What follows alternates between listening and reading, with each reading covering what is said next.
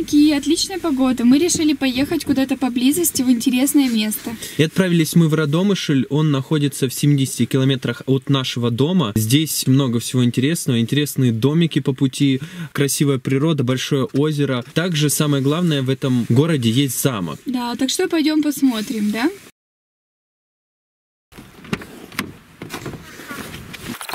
Самое смешное, что мы приехали в этот замок, а он сегодня закрыт, и даже вход на территорию закрыт. Поэтому мы просто полетаем вокруг, посмотрим окрестности и замок с высоты.